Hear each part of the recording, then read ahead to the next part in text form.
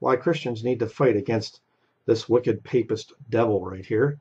Uh, Dr. Taylor Marshall, one of you let me know that he's actually running for president um, in 2024.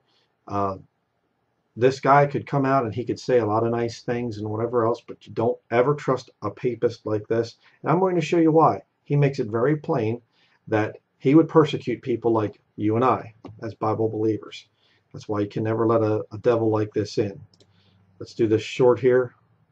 I am also running for president in 2024 on the Christ the King platform. Do I expect to win? I can't answer that question, but I think we need a candidate who comes out and says abortion should be illegal, no fault divorce should be illegal, contraception should be illegal. We need a Christian culture in America. We don't need secularism. We don't need strict separation of church and state.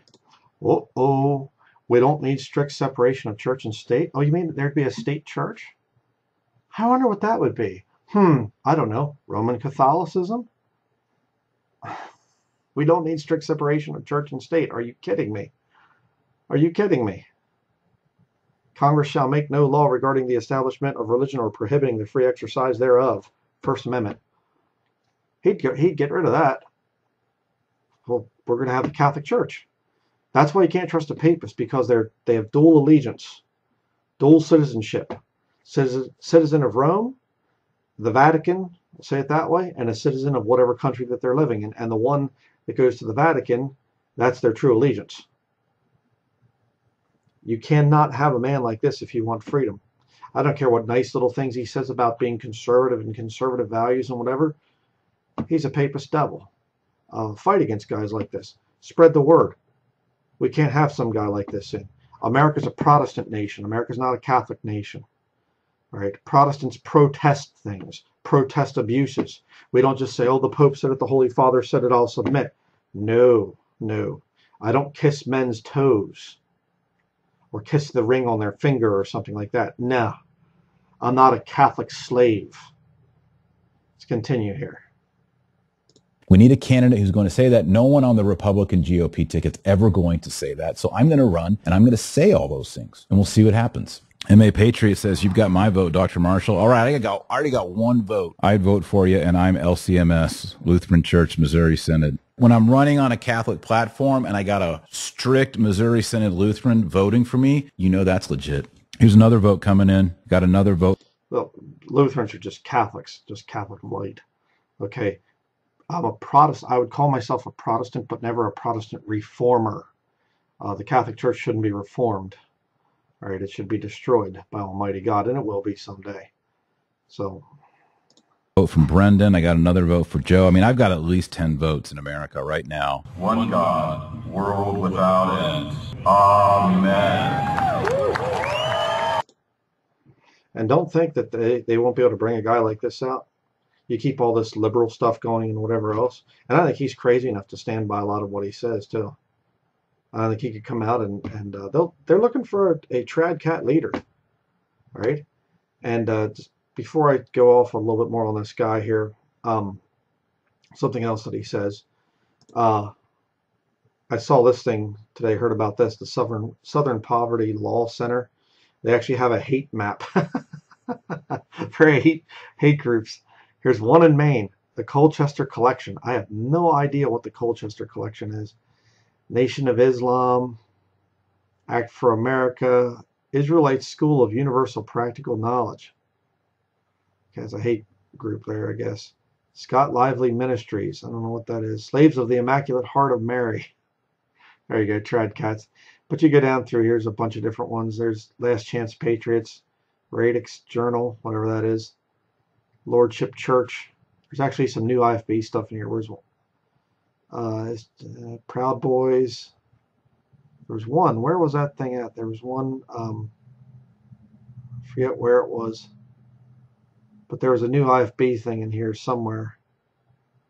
Uh, yeah, they had a, a couple uh, new IFB things in here. Israel United Church in Christ or something. Steadfast Baptist Church. Right there it is. Right there, a new IFB. So, yeah.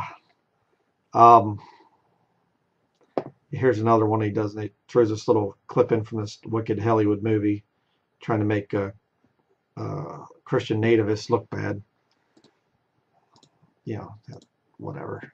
But You've made it very out. clear that you believe, like I do, that Catholicism is the one true faith. Why would a non-Catholic vote for you? None of this is to coerce or create a mandatory obligation. Yeah, right. Uh, yes, it is.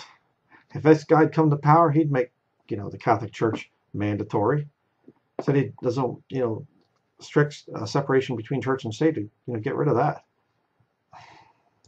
And you know what? A lot of Protestants are going to look at who I am and be like, that guy is so Catholic. I would never vote for that Mary worshiping papist. Against a Roman popery! But if everybody who said when a sperm and an egg meet and there's conception, a human person is created with a soul. And every person who says marriage is one man, one woman until death do us part. If everyone who believes those two truths voted for me, I believe I would be the president. We may get to a point where we lose that opportunity. We're getting pretty close. So we either No, we're not.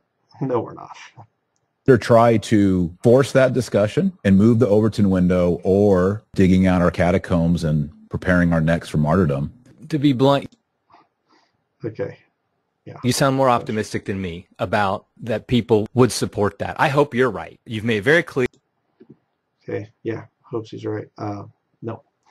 Um, whatever we have to do to get that guy, just, you know, no way. Um, crazy. Uh, he did a video too here somewhere. Um,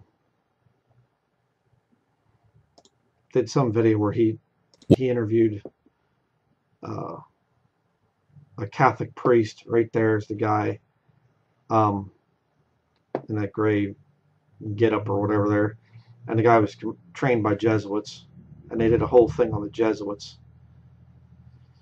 But uh, and in that thing, he went off about how that anybody that gets to heaven has to be Catholic. You know, so radical uh, papist. Um, but yeah, we can't let a guy like this run for president.